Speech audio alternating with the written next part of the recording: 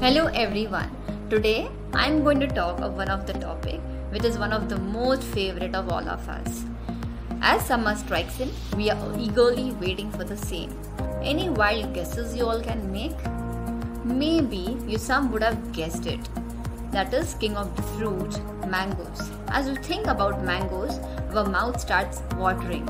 At the same time, many people are afraid to eat mangoes thinking that they will gain fat and maybe their sugar levels will elevate, especially those who are having hormonal issues.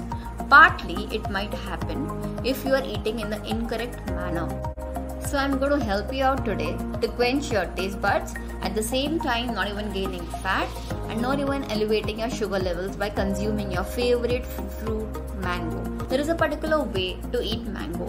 Mango should be always consumed as a whole fruit, never ever in the pulp form or the shake form or in the custard form. Secondly, there is a timing to have a fruit or maybe even a mango in that case you should have as a first thing in the morning or maybe mid morning that's before lunch never ever along with the lunch along with the dinner or maybe bedtime as well at the same time if you are exercising you can have one hour before you exercise or within half an hour to 45 minutes after you complete your exercise.